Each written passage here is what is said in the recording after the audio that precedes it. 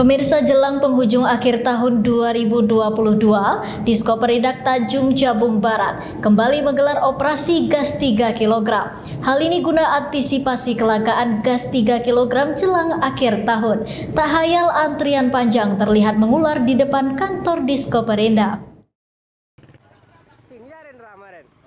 Operasi gas 3 kg yang dipusatkan di kantor Disko Perindak ini merupakan yang keempat di bulan Desember menggelar operasi gas 3 kg.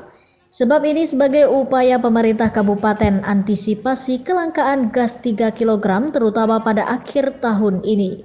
Karena peminat gas 3 kg ini masih cukup tinggi akan peminatnya. Bagaimana tidak, hal ini terlihat antrian panjang mengular pada antrian operasi gas 3 kg.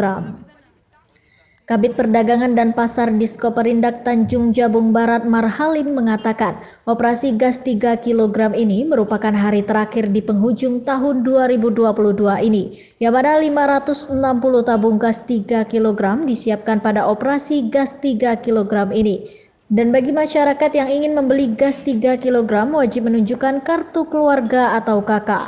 Sebab satu KK hanya boleh membeli satu tabung gas 3 kg dengan harga Rp19.000 per tabungnya. Bahkan 560 tabung ini diprediksi mencukupi untuk masyarakat Kuala Tungkal yang antri gas 3 kg. Sebab ini merupakan kali keempat di bulan Desember Disko Perindak operasi pasar gas 3 kg. Karena mengingat kebutuhan masyarakat terhadap gas 3 kg cukup tinggi, terutama di akhir tahun ini. Dan ini juga sebagai upaya pemerintah agar gas 3 kg tidak langka atau tidak sulit dicari. Uh, jadi hari ini kita juga uh, hari yang keempat ya untuk melaksanakan uh, operasi pasar di 3 kg. Jadi hari ini uh, didampingi oleh dari agen Denda pelaksana kegiatan ini. Berarti mungkin berapa gas nih yang gitu ini? Untuk hari ini kita siapkan sekitar 560 tabung. Berarti ini mungkin uh, momen terakhir akhir tahun lah untuk opini ya? Iya. Karena beberapa hari ini kita melaksanakan juga kegiatan-kegiatan berkaitan dengan survei uh. sembako, kemudian gas dan hari terakhir. Mungkin sebagai upaya apa nih untuk gas nih? Untuk antisipasi apa nih?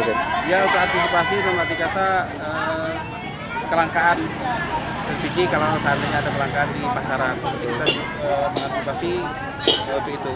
Untuk harga sendiri tetap harga standar harga ya? tetap 900.000 per tabung. Berarti pakai kakak dengan apa nih dengan pengambil? Kita uh, untuk uh, tertib uh. hari ini kita cuma minta kakak saja.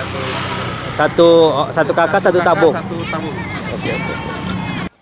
Sementara salah satu warga Nur Asia menyampaikan sangat bersyukur dengan adanya operasi gas 3 kg ini sebab setidaknya ini sangat membantu masyarakat untuk mendapatkan gas 3 kg. Karena jika pun ada gas 3 kg terkadang ia beli dengan harga Rp35.000 per tabungnya.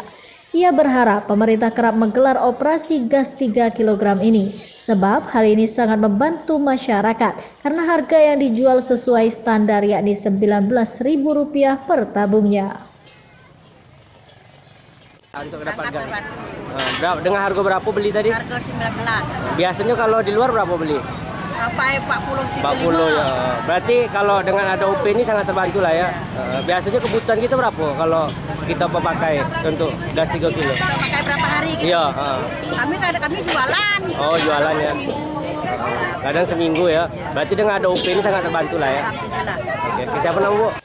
Meski harus antri berjam-jam tidak menjadi permasalahan bagi masyarakat Kuala Tungkal tersebut dan gas 3 kg harus tersedia dengan baik.